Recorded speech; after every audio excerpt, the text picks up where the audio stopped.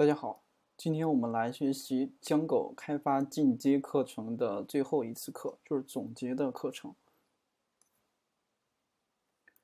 然后呢，我们就是要把这个知识点给稍微梳理一下，最后看一下这个拓展。我们就是从这个第一节课开始到最后的二十多次课，讲了这个江狗的，比如说自定义这个 tag 还有 filter，比如说用将讲二模板去替换这个默认模板，然后这个自定义这个管理器，啊，还有这个集成已有的数据库的应用，嗯，包括同时使用多个数据库啊，然后自定义这个。呃，模板和自定义这个表单和这个字段，呃，这个的面去和的面的一个定制，包括在 main 里边的这个 widget 和这个 action 的一些定制，嗯，然后接着呢，学习了这个通用视图的一些使用，然后呢，还学习了一个一些 JSON 的接口和 RESTful 一个风格的接口，主要是学会这个如何去定制一些接口的使用，还有这个信号。然后的话，一个中间件的使用，啊，包括江构的一些安全机制的一个策略，然后呢，还学习了这个国际化中的一个语言和这个时区的支持。最后呢，有两个这个，呃，应小的一个应用，就是集成这个七牛云的一个图片上传的一个功能，呃，包括呃，在使用图片的过程中如何去剪裁它。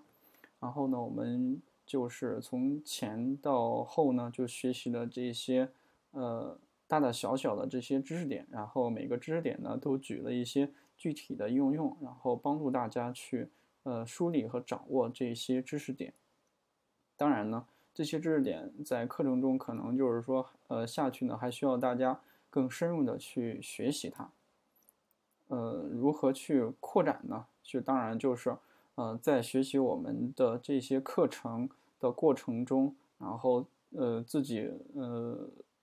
如果就是说暂时比较不熟悉的话，可以跟着项目的这个就是课程的这个实例一步一步的去做，呃，或者说呢，你就是举一反三，然后比如说老师举的是这种这种做法，然后你可以就是稍微思考一下，去呃写它的另外一种应用，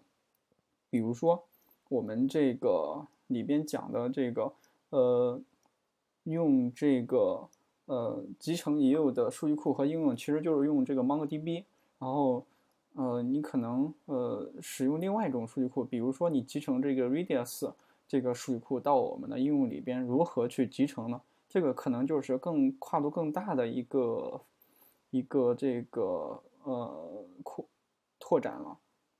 啊，或者说呢，我们去实际的做一个项目，或者是如果项目太大的话，会做一个 demo，比如说一个日志啊，比如说一个就是就是个人博客的一个 demo 啊，或者说更大一点的话，你做一个购物网站啊，或者说是一个多人的一个论坛啊，就是模仿某个，比如说 V2EX 这样的论坛，这个论坛是非常有特点的，大家有兴趣的话可以去。去模仿某个现成的这个网站，比如说购物网站，呃，就是一个比如说简易的这个淘宝啊，嗯，或者说是简易的这个就是 V2EX 这样的 BBS 啊，嗯，这样就是帮助自己更全面的、更深入的学习江狗的这些知识点和相关的一些应用。然后，如何呃，关于这个如何继续深入学习呢？我们也提出了一些自己的看法，当然就是。在项目中解决问题是最直接的、最快的一个学习知识点的一个办法。如何解决呢？就是呃做得更好。然后比如说，呃，我觉得呃一个一个问题的话，它有一个解法。然后我们已经找到了这个问题解决的方案的时候呢，但是如果你想就是学得更加深入的话，不要满足于当前的这个呃非常直接的，因为呃直接的解解法，因为它直接。的当然就比较简单，我们要寻求一个更加优雅或者是高效的一个方法。只要你肯投入这个时间和精力，嗯，比如说我们解决这个办法的途径呢，呃，首先就是呃求助于这个搜索引擎，比如说谷歌，那我们就推荐用谷歌来呃去做搜索，呃，因为它足够的高效，定位足够的准确，或者是通过国外的呃，当然知乎也可以，知乎现在可能有部分的一个答案，还有推荐一个那个论坛，就是 V2EX 上边的话，也是有非常多的一些关于 Django 的一些呃知识点，包括我们国外的网站。这个 Stackflow，如果大家英语足够好的话，就可以去上面去提问，或者是浏览这些答案。当然，我平时工作过程中呢，很多的这些，呃，这些答呃解决问题的方法的灵感都来自于这个谷歌和这个 Stackflow，包括这个 GitHub。当然，大家应该有自己的 GitHub 的一个账号。对 GitHub 呢，就分享了很多这个代码啊，我们就可以查看到。呃，不仅能查看到 Django 的源码啊，还有这个呃关于 Django 的各种各样的应用非常多。我们可以去这个嗯 GitHub 的这个地方去搜索一下，我们可以跟大家看一下。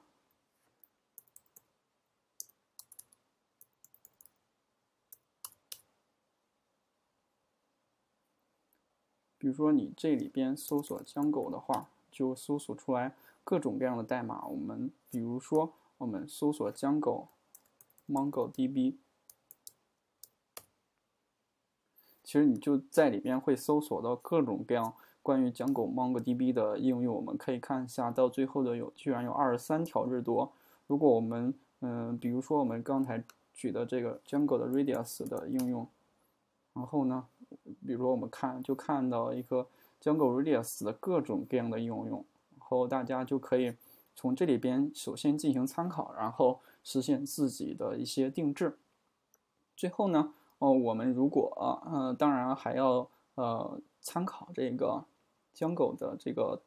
document，就是它的文档。呃，当然就是说呃，大家可以参考它的中文版。中文版的话，它就是现在最新更新的是一点八。当然，我们在项目中使用的其实是一点九。一点九的话呢，它就是说。这个嗯比较新，然后是没有，一般是没有中文的翻译，然后全是英文的这些文档。当然，大家大部分的参考的话，参考这个呃一点八也是没什么问题的，只不过是一点九它有稍微的改动。只要大家注意这个一点九它的一些呃 release 的一个 update，就是它每个版本它有哪些更新，大家要知道这些知识点，然后你参考中文版的也是没问题的。当然，我们这里边就提倡大家直接去